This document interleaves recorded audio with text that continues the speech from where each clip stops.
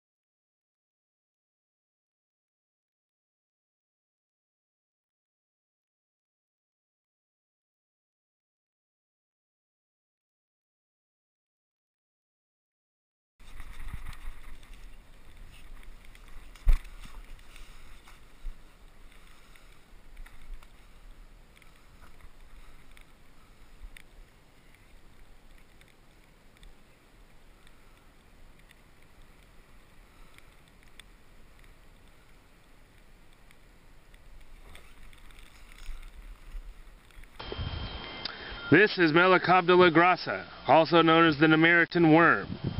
It is common to Europe and the Pacific and Atlantic oceans of North America.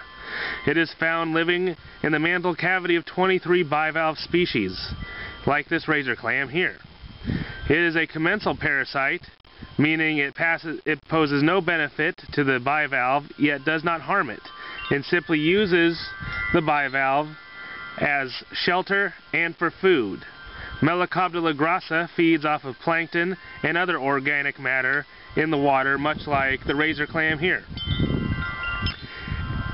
It reaches sexual maturity around 20 to 40 millimeters in size.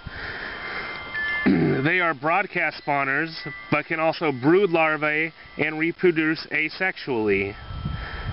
Pelagic free-floating larvae do not feed, and much like their more mature brooded larvae counterparts, remain in the water column for several days or for several weeks even, until they settle to the bottom and find a host like this razor clam here.